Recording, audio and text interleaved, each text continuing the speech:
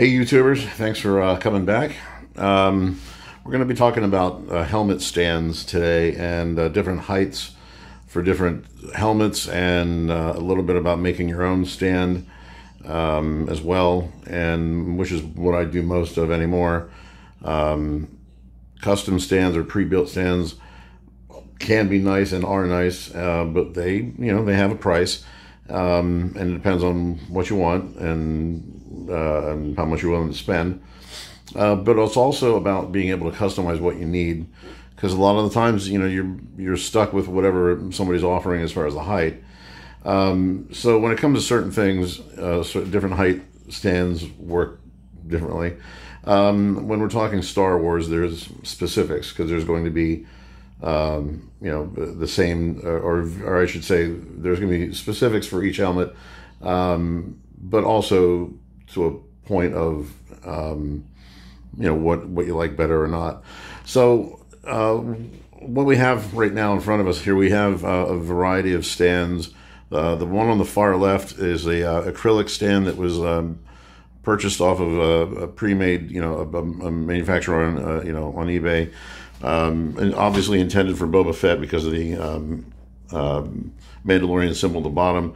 The entire uh, stand was clear, but I painted the bottom um, black um, because the uh, the actual Mandalorian symbol was etched on the surface of the of, of, the base, so it didn't interfere with it, and it just gives a, a nice contrast and a shiny mirror-like quality to it. It was pretty cool, um, and the surface uh, disc was just straight acrylic, and um, which again is okay, but if the inside of the helmet is a hard plastic like uh, the EFX helmet that I have, and or some other helmets. They or the like the or I should say specifically the um, the Black Series helmet Boba Fett. That plastic on plastic tends to slide around a lot, so I cut out a, uh, a round strip of uh, uh, a felt cloth with adhesive on the other side, the, with the adhesive backing, and it makes a nice, uh, nice finished looking top. Well, I mean, I could have cut the circle a little bit better, but it doesn't matter. It's being used inside the helmet. But it gives a nice uh, texture uh, to the bottom of it. And I think I may have done that on the bottom. Yeah, I put the felt on the bottom as well so that the uh, they don't tend to slide around on hard to hard surface. It gives a little more friction and plus it just gives a little bit nicer finish look to it. Um, and these other helmets are helmets that I've made and or making. So this one here, the black one, is just um, a wood, a six inch wood uh, disc. Well, it was actually two discs sandwiched together, I'll explain that in a little while uh, about the manufacturing process. I'm just going over the stands at the moment. And it follows the same suit. It's just a, a base, the, the pole, and then a disc at the top. Similar idea. The felt at the top, felt at the bottom, just made out of wood and painted with a textured black to kind of look just cool, but a little bit normal. This was a custom Boba Fett stand that I made out of um, actual PVC uh, uh, tubing and piping and uh, uh drainage uh, material, you know, devices or pieces from from Lowe's. A nice, big, thicker. I mean, this thing's kind of heavy. It's it's a little little a little uh, intrusive, but um, felt on the top. Uh, there was this piece was a uh, um, a plastic uh, coupling for tubing that you know uh, with the outside diameter, inside diameter, and then this you know fits down on top of this PVC two inch tube. Then this two inch tube goes into the collar of this base, which is actually um, you can almost see the design a little bit there. It's actually a, a sewer drain that goes down into the floor uh, but upside upside down, and it connects to the piping underneath. But when you turn it around upside down like this, it makes a nice, wonderful wide base with a cool looking um, shape to it. And if you get a good paint job on it, it's kind of cool. Um, I did one like this for my for my uh, EFX Boba Fett because it was the high end Boba Fett helmet that I have. Um, and uh, all my other stand, all my other helmets that had stands I had made these black ones. I was using this acrylic one for the Boba Fett, but it's just a little too short. I just, you know, I was disappointed with it how short it was. So I needed a little bit something something a little bit higher. So I made that, but I wanted to make something a little bit more grand for my Fett. So I made this one, same height though, roughly 13 inches. But again, we'll get to that. Um, then this wood one, I'm making another similar, you know, process as the black one. Uh, so I'm not done making it yet. I just actually fabricated it and got it together. Got a uh, different disc up at the top, a little bit thicker, a little bit wider, a four inch disc rather than a three inch like those.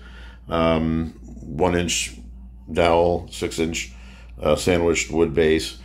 And again, we'll get into the construction a little bit later, but uh, the height and everything is what we're uh, going to start, the, reasons for the height differences. Um, so those are the uh, basic stands that I work with or deal with, heights that I deal with.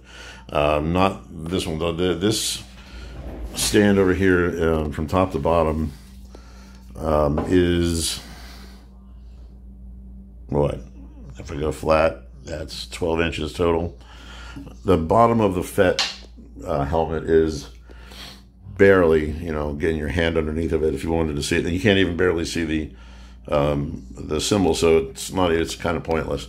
So we wanted just a little bit, I, I figured a, a, good like hand width, uh, four inches or something from the bottom of the helmet would be my own personal measurement. So just kicked that up an inch and it gave me that. So um, I just, I can't really throw this thing out. It, it looks nice, so I keep it if I just want to have something to put the Fett helmet down on or something smaller. Um, but the uh, uh, and, the stormtrooper helmets also work better with the 13 inch um, stand. Well, the total stand height from top to bottom being uh, trying to get flat there, being roughly 13 inches. It can it can be 13 inches and some change. Doesn't have to be exact. Uh, and the same thing with the Fett helmets. I mean, this one here, uh, 13 and a quarter but that's just because there's a little bit thicker base than down there. Uh, this one here is going to be for my other Vaders. I'm going to doll them up and get a little bit more to them. Uh, this one flat at top is 14 and a half. Well, close. Um, because Vader is obviously a little bit bigger and deeper in the inside of the helmet. So in order to kind of see how that works, uh, I've got my two Vaders up top that I'm going to show off yet again. Uh, one of them, the, the PCR Vader, has the black um, 13 inch stand that I have here, and then the uh, limited uh, edition Vader's on its own custom stand, which the actual post of the stand is 13 inches, but the disc at the top is a half inch, so that's about a 13 and a half inch height from the base. Um, so let's take a look at them real quick, and uh, let me get up there so we can see them. and I'll be right back. Okay, we're back. Thanks for waiting. Um, okay, so in front of us we have um, the uh, two EFX Vaders, my PCR Vader on the left, and the uh, limited fiberglass edition on the right. Um, actually, I'm going to back up here a bit because I'm quite not in focus, or at least it seems. Uh, Okay, looks all right. So the Vader on the left has the 13 inch black stand that I custom made, just because I don't have anything else to put it on yet. But it'll be getting one of the um, taller ones I'm making now. So you can see, I mean, it comes right down on top. I barely have enough room to um, prop it up at an angle or whatever that I want. Um, and then the uh, uh, the EFX limited one, uh, you can see because it has a 13 inch, or in this case, 13 and a half inch with the, the disc on the top uh, post that comes down and gives us about, well, about an inch and a half of clearance but from the from the neck to the base. So, uh, and that looks good to me there. That That's a good enough clearance. It's just coming down low enough um, that it doesn't look like it's got this big stick sticking out the bottom of it. So that's the other thing too. Sure, you can make a tall helmet, but you don't want too much of the of this of the base sticking out. It just kind of looks gaudy, but it can be too short. So that's kind of the, the, the way that the Vader helmets would look, and the differences between them. Why you need the taller one. So um, the so that from now if the the one that I'm making right now is slightly from the bottom to the top is slightly taller than this one, but it won't be that obtrusive. It'll just be you know they're going to be a little different anyway because uh, this base that it's on is already putting an inch on top of everything else. So when I get the, um, I'm making a second one of those newsstands as well. I don't have one here for display, so I've got two of them because there's going to be two Vaders here. I've got the one I've got here on this side. I've got my uh, limited edition, and then I've got uh, a commission Vader coming from one of our well-known manufacturing groups, and I just want to hold it all in until it gets here. But anybody who knows me probably knows who I'm talking about. Uh, hurry up, guys. I know you're busy, but I want my Vader. I cannot wait to see it. Um, so that's going to go there, and uh, just to give me a good, you know, pyramidal type of quality to it. And uh, they'll both get the uh, stand that I make after I custom make them, um, and um, that way they'll they'll have a good solid base and a good height to them, and that'll probably even them out a little bit more. But the EFX one will probably hang a little bit higher because of the bigger base. So that's kind of the uh, drift of how they're going to look uh, with each uh, height. Now, when we get down to uh, all these other guys down here, they're in these cases because they just don't fit with a stand. And I got these cases to have helmets, so um, I'm not really making stands for them. Um, unless I really have a reason to put one out uh, for for a uh, open display. But the reason that the Vaders are getting them is because they're just too big to fit in these cases, except for that little monster over there. But you know he's going to be getting packed away soon. Um, so the Vaders get up top because they're just too big, and it just makes it look better to have the big ones up top with their own stands, and then everybody else is just kind of sitting in here on their own, and that's fine. I mean, I would prefer to have stands for them. I made you know one over there, and it's just kind of not going to use. Um, I don't know. I might sell it later if or uh, later if somebody's looking for a custom Boba Fett stand or two. I just don't need them. I mean, they're they're sitting in here and they're perfectly uh, at home, not collecting dust, which is the other thing too. I mean, I I mean, yeah, I like having these out, but there's the dust factor. Um, but my little static free uh, uh, um, or a static duster works perfectly on perfectly on these things without scraping them or bumping them.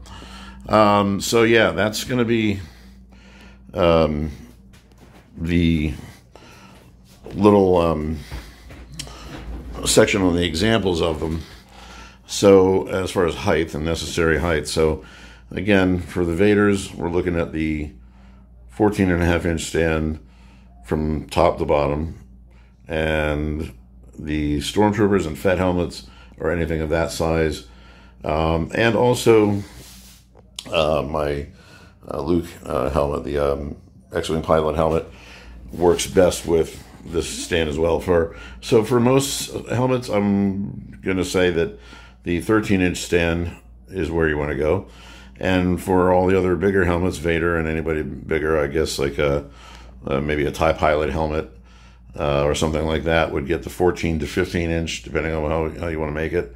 Um, uh, and, you know, that's it. So uh, I'm going to go ahead and pause it and just get two of these over here for a little bit of a manufacturing um, round, and then we'll finish that up. Okay, thanks for holding for the last couple minutes here. So, uh, yeah, just getting into the tutorial aspect of making these things. Uh, like I said, when it comes to custom stands, now, now you can see there's a little bit of a crooked angle to that top. I'll fix that. I'll just loosen the, the screw up and put a little shim under there to fix that and get that even. But, um, you know, hey, that's part of the manufacturing process, but it is what it is. Uh, so, you know, I make them this way and uh, they end up that way.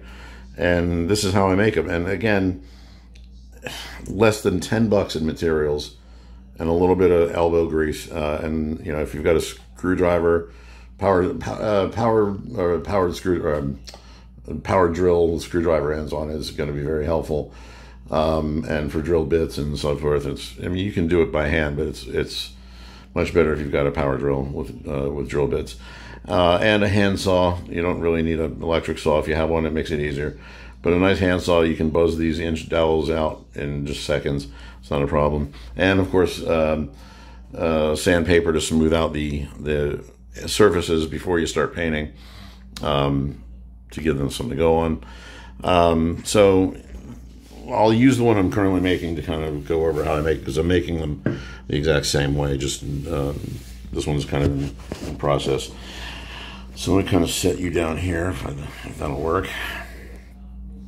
So we're going to start with um, something that'll hopefully stay in focus. The again, the, depending on the hole height that we want, um, the uh, the pole in the middle would would be where we start. But knowing how much you're going to be ending up with, you have to kind of consider.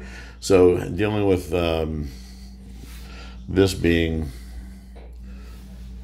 you know, uh, an inch thick disc, almost three quarters of an inch rather.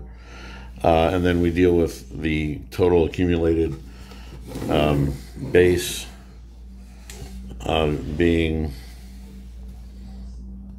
quarter inch, comprised of two eighth inch discs sandwiched together, as you can see. Um, you know, so that gives us the inch total. Um, then we have the space between them. Uh, see if I can get that even. Being, uh, I can't do that without doing this. Hang on one second. So I got to bring them over because the camera lens is a weird spot. Weird spot. So 13 and a half uh, for just the, the post or the pole, and then the other inch uh, that the disc and the base provide gives us. Um, well, I'm trying to do this without messing it up, but hang on. Going to be roughly. Man, you're gonna start getting on my nerves here. Um,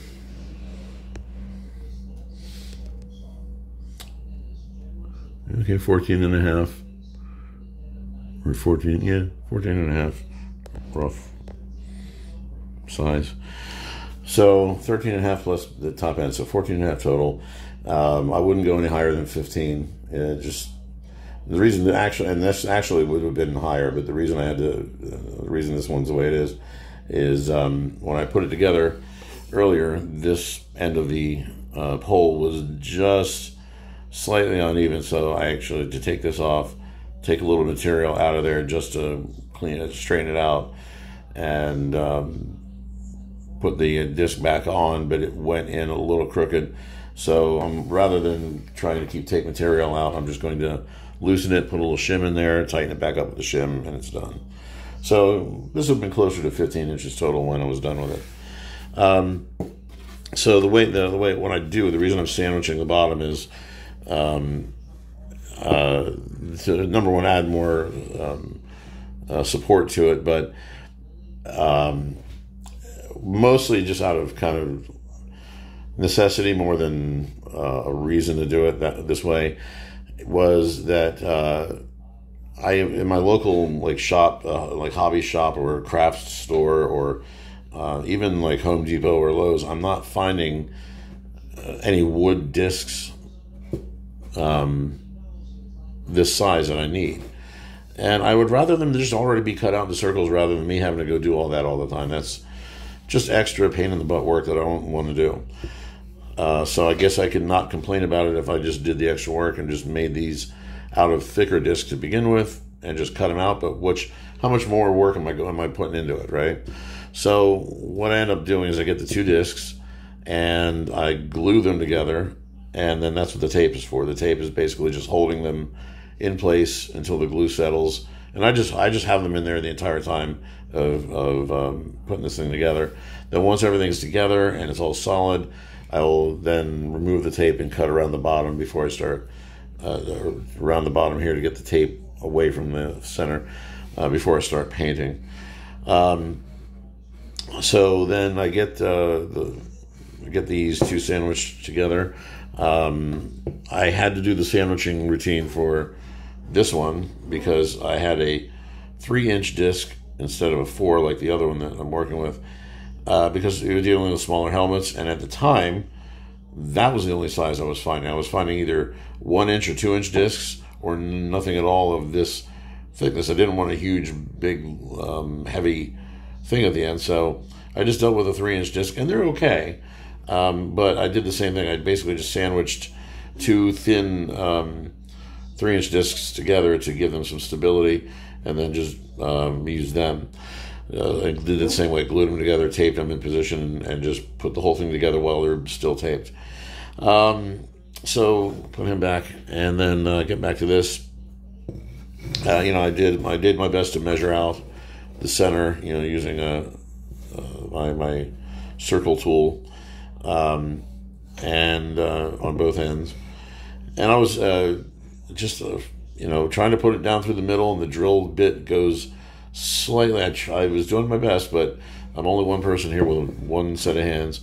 Uh, so the when I'm drilling, pre-drilling a hole through the top uh, in the middle, the drill bit kind of went just a little. Uh, so it put this internal slight angle, you know, to the disc. So when I put the screw in, it's pulling the disc off a little bit. So I had to deal with that. That's what I'm going to be working with. And again, if you go back and pull it out and uh, try and re-drill the hole straighter, you start making a bigger opening, and then your screw that you're using doesn't work. And you got to put a bigger screw in, and then if you're doing that, you start running the risk of splitting something. And I just, you know, all I need to do is just loosen it, put a little shim underneath, and level it out, and be done with it. But the reason I'm using this top instead of like the other ones I was using, number one, I wanted a four-inch disc, and I finally found something in four-inch because I was going to use them for the Vader. Um, and they already had at, at, at the uh, at the craft store these pre-made wood discs that had this um, you know uh, tooling or this uh, uh, uh detailing to it with the uh, the lathing to it with the under, with the undercut that went around and it looked actually kind of cool. I was like, you know, I don't need just a even though nobody's going to see it, it just still looked cool. It had this just nice little flair to it and be fitting for for Vader, right? Um, so uh, I did not have to sandwich anything here. I just, but I had to get uh, larger wood screws than I'm normally using. I had to get these four inch buggers so I could really pull it down there, and then pre-drill the holes with a, a drill bit about half the size of the screw, so that the screw has enough wood to really tap into and uh, and and hold itself in with a friction hold. You don't have to glue anything. Uh, once it's in, it's in. I mean, you're just putting the stand up and hanging something on here. You're not uh, messing around with it and loosening it up. So it's. I've had some of these other stands now for a few years that I've made not one problem. Um, so the same thing I did down here, um, uh, pre-drilled um, the hole through the disc in the center as best I could. Got this one a little bit straighter, so it, it, it turned out better. Um, and uh, tried a little bit of a countersink to get that screw a little bit flatter um, because I'm going to eventually put the felt underneath there, and I don't need the screw making it like feel like it's teetering because there's a bump in the middle. So once the felt once the felt gets on there, that'll that'll even all that out. Um, and just uh, basically held them by hand and carefully uh, use my uh, power drill with the Phillips screw end on it to kind of run them home and very slowly um, and uh, controlled. Don't jam them on in there. You want to bring them in until they stop and just slowly set them in. Um, because uh, again, you can strip the, uh, the screw head ends, which I've done before. Uh, you can strip the wood or break the wood or uh, screw the screw too far down in, and then you're screwed. Um, so, yeah, the, that's that's really it. I mean, it, it's just you want to have a, a, good wider, a good wide base. A wider base would work, but I also have to consider that if I'm putting helmets near each other, I don't want to be taking up a lot of shelf space. I mean, I could put this on a small shelf on a wall somewhere and not have to worry about um, if I needed to put a helmet up somewhere. I could I could just real quick throw up a um, just a shelf on the wall somewhere as long as I've got the outward space uh, for the helmet. I could just put this little boy down. He doesn't have to be more than eight inches wide, maybe a foot deep. Um, so you can get a small little helmet stand up on the wall if you needed to. Um, and uh, plus, it's just fun to do it for me, and it, it's uh, I like the result of it. I like the kind of more organic look I get and feel from the wood material. And now they're surprisingly light and deceptive, as far as like you wouldn't think that they would be nice and sturdy, but they are. Um, and the, the textured black spray paint is what I think kind of makes it a little bit better for me instead of just looking like uh, sprayed wood. You know, it gives me a more like I get just a, an interesting uh, texture. Uh, that's the word I use again for it. Um, and yeah, it works pretty good. And I would think I will probably um, just keep them plain as well. What I was doing before for a family member that I had uh, done my um, uh, Rubie's Supreme Vader restoration, um, which is a link on my main YouTube page if you want to go look at those pictures. I did a custom stand like this and did a uh, custom Imperial symbol paint job um, just for that stand for him as a gift because it was specifically going to that helmet. Um, but in most cases, I'm just going to keep them usable for whoever I put on them by just painting them black. Um, I'm not really going to decorate them like I did that other Fett one and then be stuck with it. Unless I just spray paint over it and just make it uh, universal somehow, which might still be an option. Uh, so yeah, here we are. Um, two different stand heights uh, and the basic manufacturing um, details about how to do them. Make yourself a good stand for under 10 bucks. And, um, um and there you go. So uh, if you have anything uh, to add or questions or or do things like this of your own, uh, it'd be cool to see them. You always leave comments in the bottom, like and subscribe and all that stuff, and always be civil. And we'll talk to you later.